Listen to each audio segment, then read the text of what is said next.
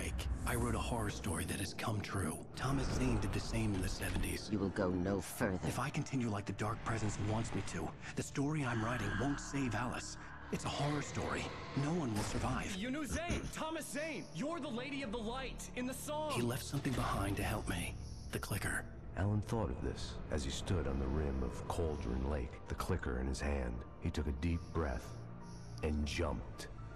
I can get to her now. I can finish this.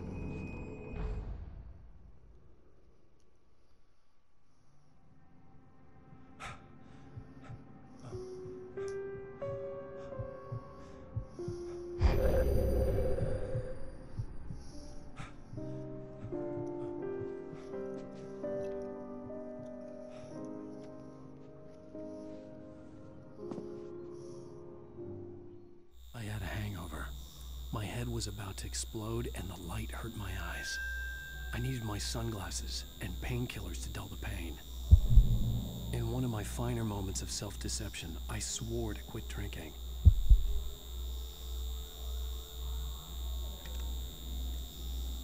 Ugh, the sunglasses made the world look bearable. Now I could keep my eyes open without feeling like a vampire in the sun. I wasn't sure I'd make it out there without some painkillers.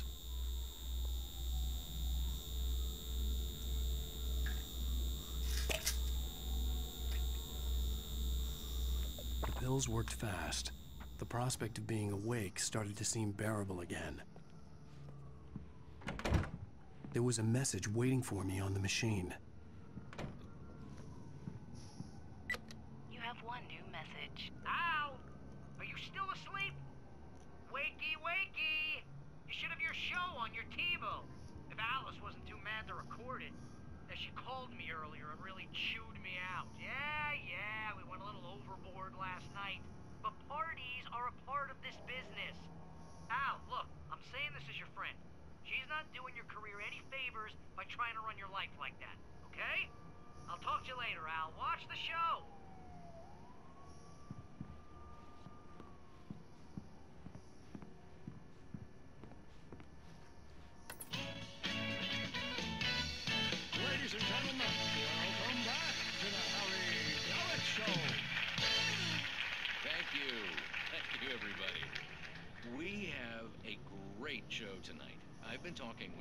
Best-selling author Alan Wake about his new book, The Sudden Stop. Yeah, good read. Go buy it. No, no, it is a good read. Look, uh, I'm gonna be honest here. Is that wise? No, but I'm gonna do it anyway. I got people who give me the lowdown on books. I'm a busy guy. But this one, I actually read from cover to cover. I mean, I'm, I'm a big fan. Wow, thanks. Now, this might be a spoiler for those who haven't read the book yet. Based on the sales figures, the two people out there who haven't read the book yet.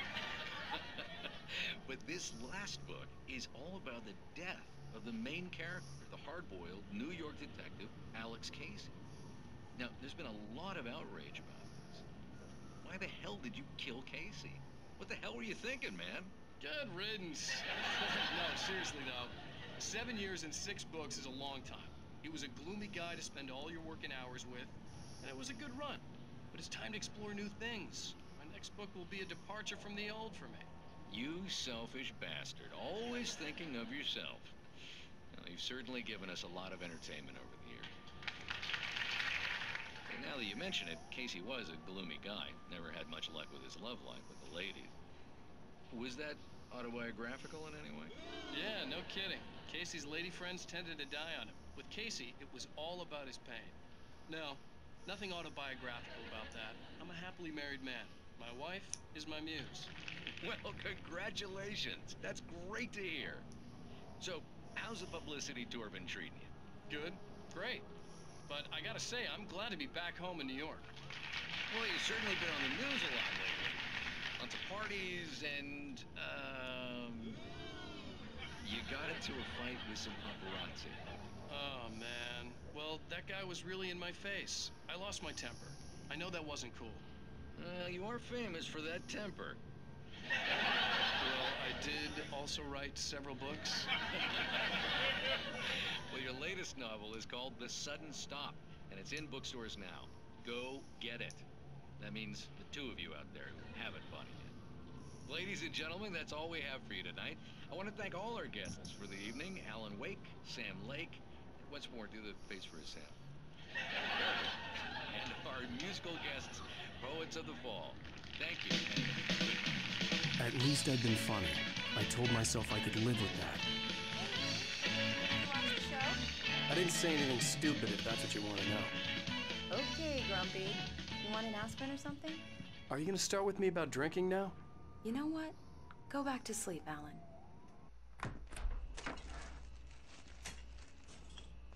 What? Now you can't even talk to me? Well, this morning I was angry because you said you'd be home at midnight and you showed up at 7 a.m. and passed out in mid sentence. Now I'm over it. Are you angry? This goddamn tour. It's gotten out of hand. Oh, honey. It's almost over, right?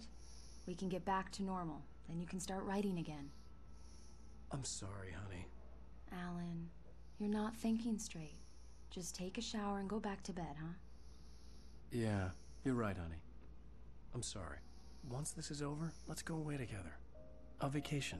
Just you and me. Some peace and quiet.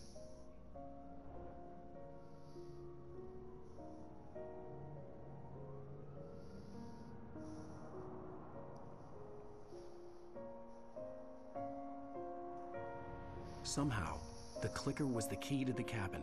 I had to return to Cauldron Lake to save Alice.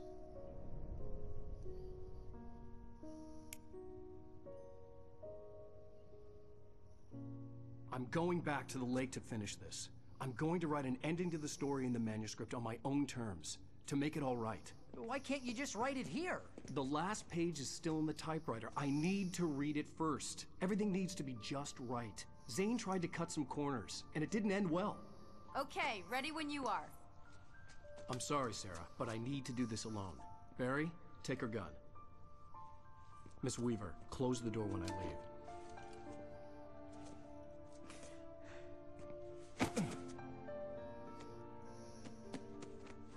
Luck, Al. See you later.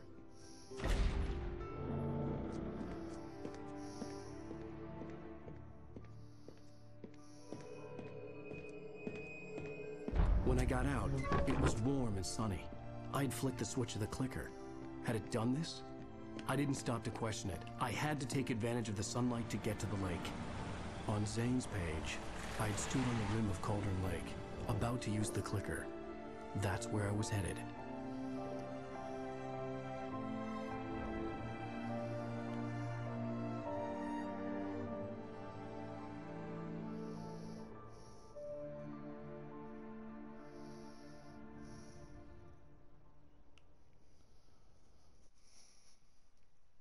Alone, in daylight, surrounded by the beauty of the Pacific Northwest landscape. It was hard not to let doubt creep in one last time.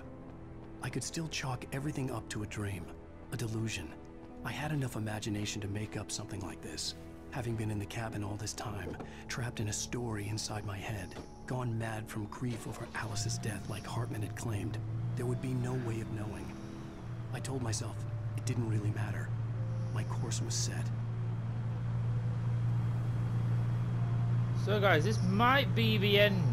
This might be the last part. I'm not too sure how long this episode is, but this is the the final chapter. So we'll wait to see. Um, depending how long it is, I might split it into two. I'm not too sure, but we'll see.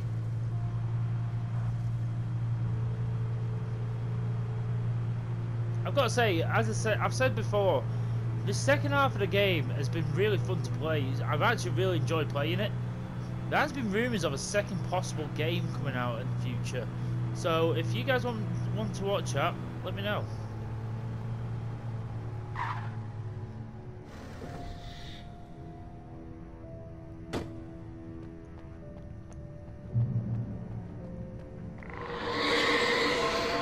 The darkness had touched me. There was a link between us, always would be. I could feel its presence again, getting closer.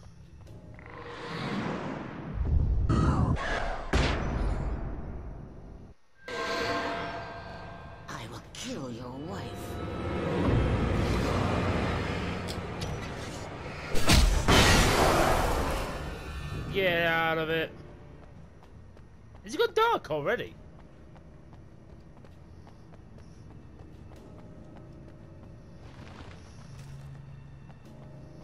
It's alright, I've not been using the manuscripts that much.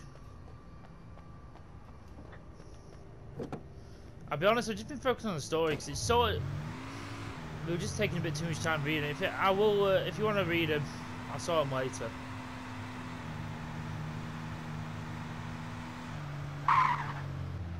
There's someone there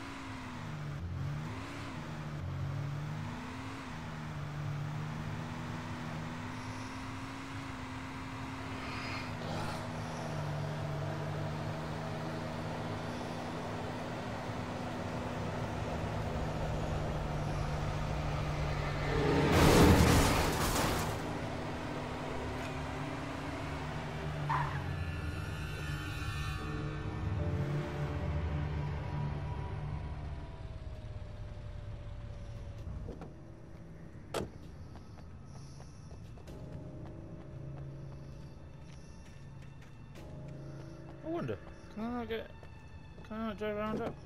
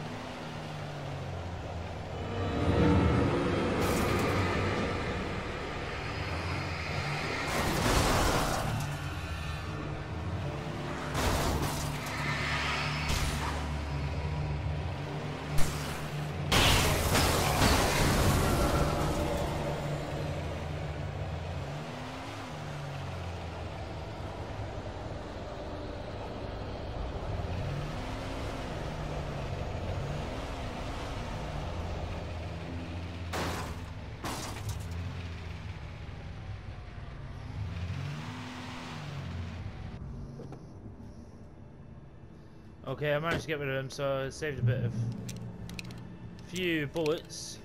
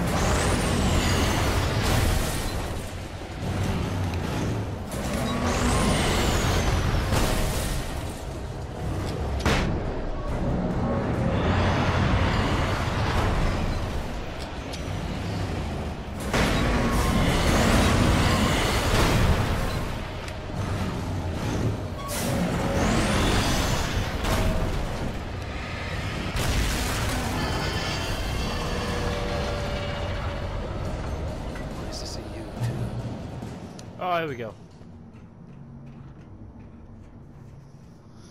Oh, so that took me ages to get through that. Pretty sure it bugged out a little bit as well.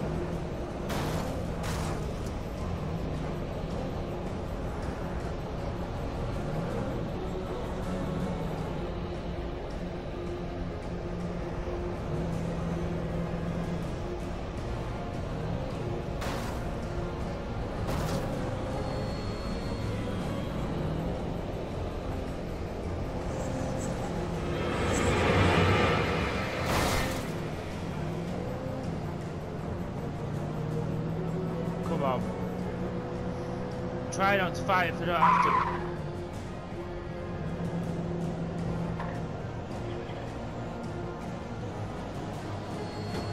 Go slow, why don't you?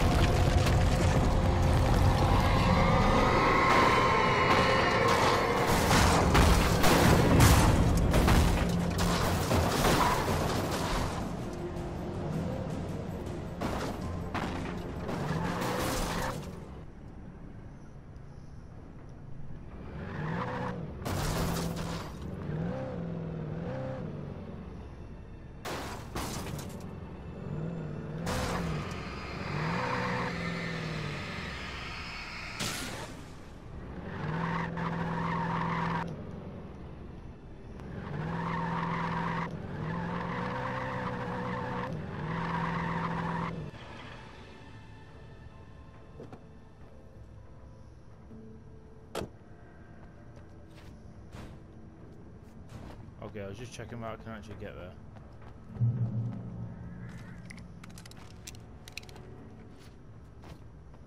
Okay, so I got some...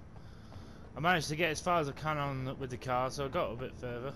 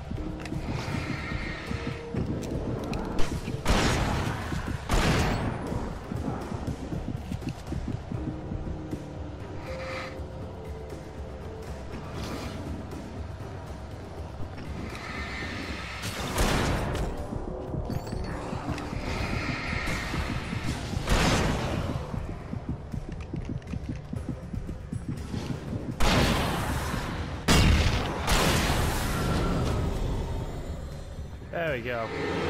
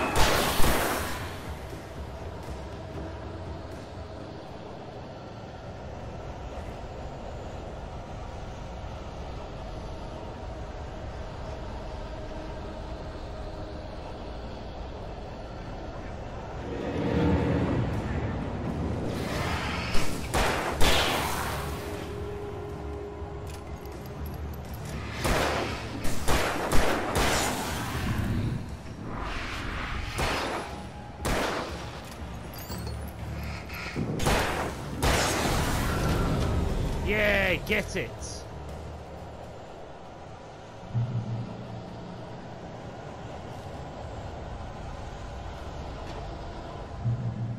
There we go. We've reached it.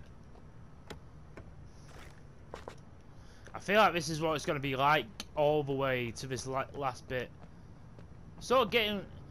It's like we're going all the way back to where we started, kind of thing. Giving us cars to sort of shorten the journey, and we're doing like battles.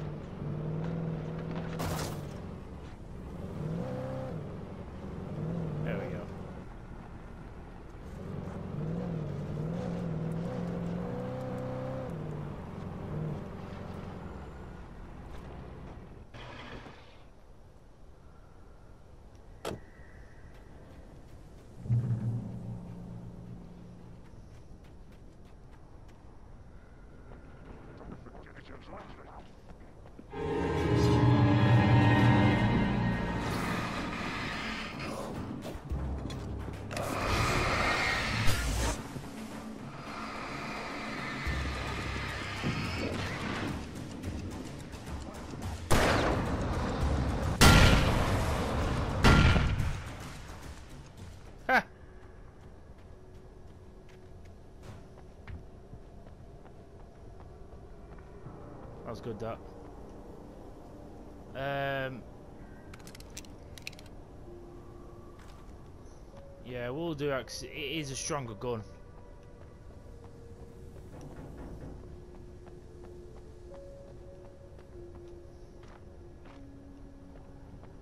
Lithium batteries, what? I don't understand what, what's the difference.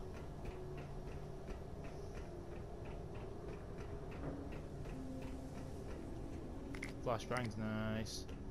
Flare gun, that'll do very nicely.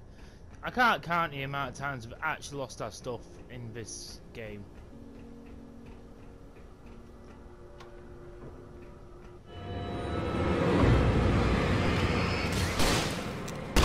No! That was really not what I wanted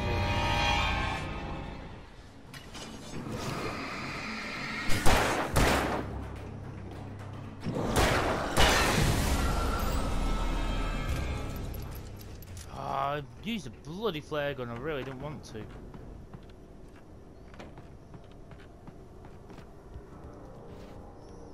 But oh well. Got to be getting close to Cauldron Lake now.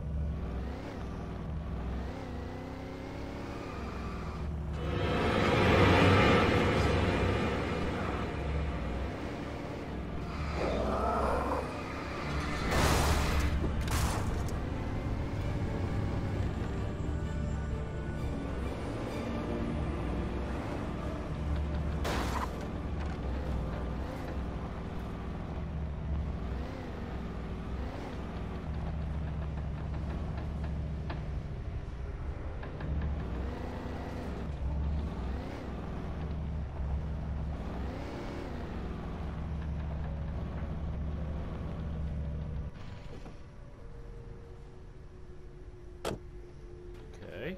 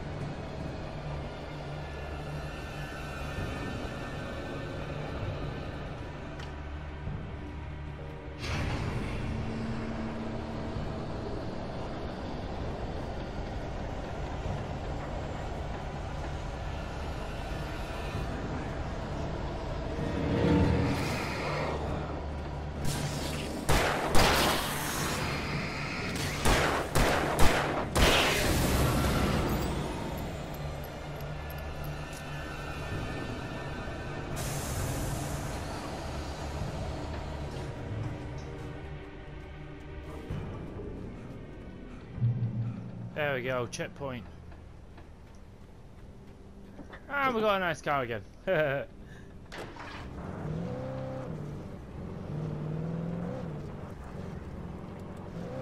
wonder how close we're getting. We've got to be getting close. It is sort of throwing everything at us now.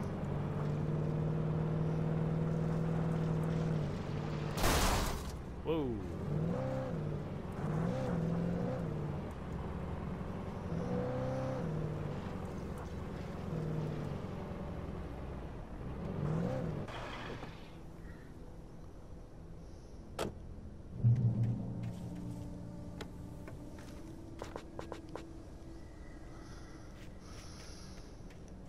When I told Barry my plan back in the well-lit room, I'd acted as if I knew what I was doing.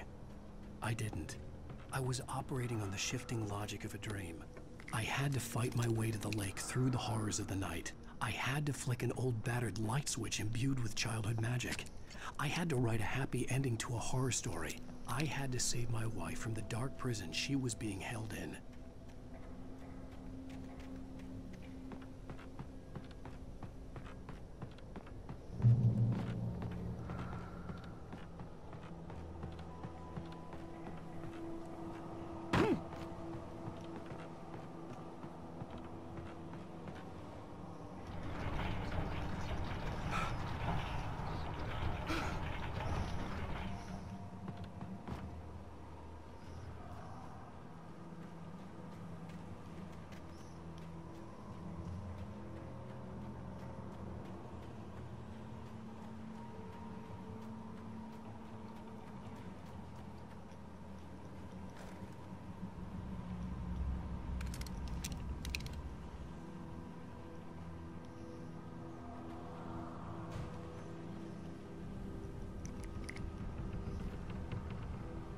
I getting this car?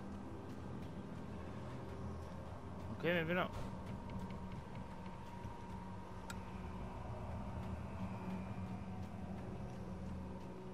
I will never give her to you.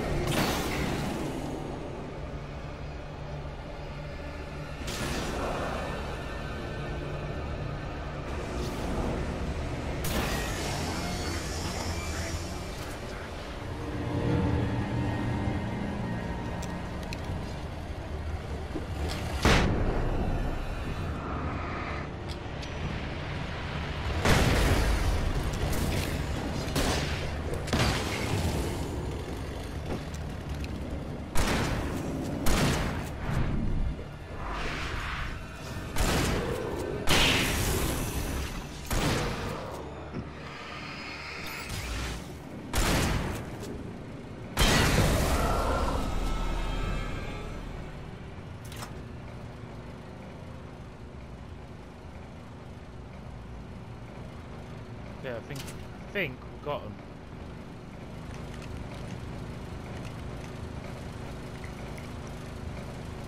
Whew. Okay.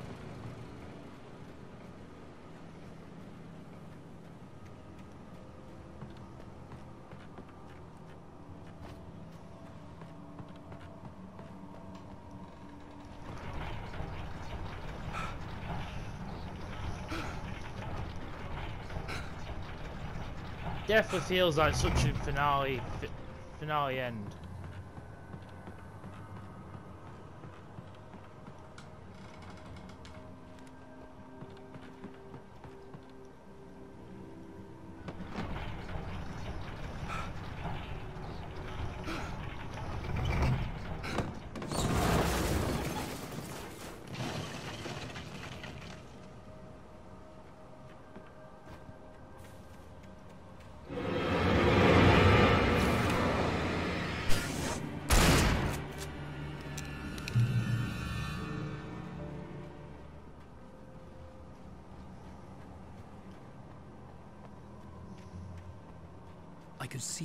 Peak in the distance. That's where Cauldron Lake was. Oh my god, I feel like we've got such a long way still to go.